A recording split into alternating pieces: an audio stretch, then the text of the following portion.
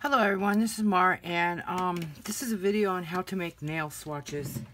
So what you need is poster tack or glue, you can use glue if you want, and popsicle sticks.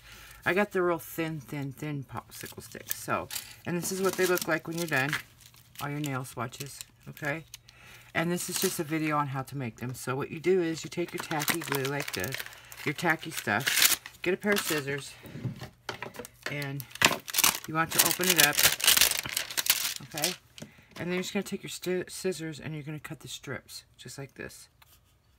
Just cut a strip, and then you're going to cut little tiny pieces like this off of it.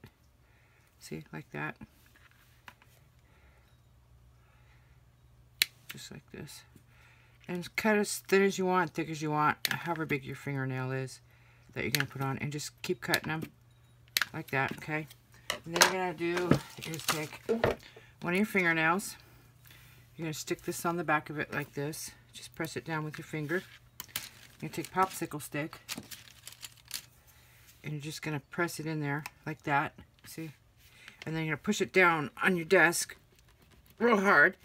And see, it sticks. Now you have a swatch. Very simple. Okay? We'll do that one more time. So, put your tacky glue, tacky stick on here. Get a fingernail.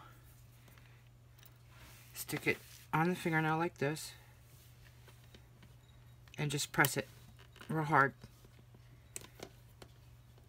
Kind of rub it so it sticks, see?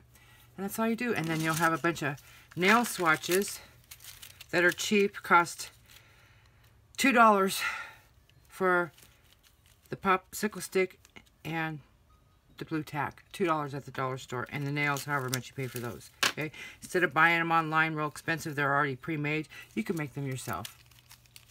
So I have a bunch of nail swatches here that I can make, okay? To make my nails. So, very simple. All right, again, all you need is tacky glue. I call it tacky glue. It's tacky stick and some popsicle sticks. They're called craft sticks and they're really thin. Okay? Anyway, thanks for watching, and everybody have a nice day, and peace out.